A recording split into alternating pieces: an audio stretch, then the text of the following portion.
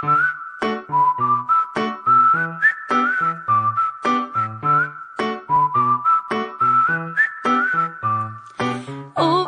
my baby, you woke up in my bed.